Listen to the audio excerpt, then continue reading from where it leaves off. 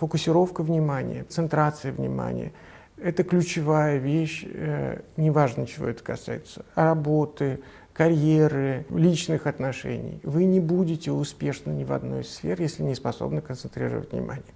И да, это навык, и да, это тренировка, и да, э, если сложно читать книги, э, ну, не знаю, мне сложно.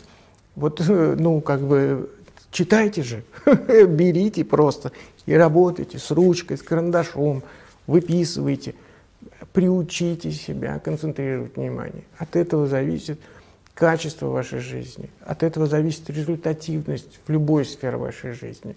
И книга – это маркер.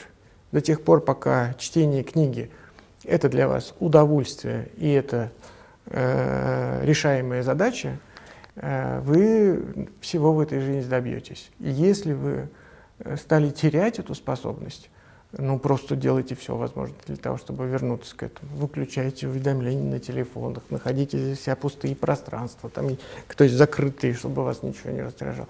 Учитесь фокусировать внимание. Если это получается у вас сделать, не все потеряно.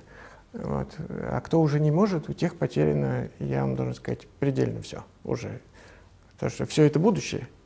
Прошлое уже закончилось, его уже нет.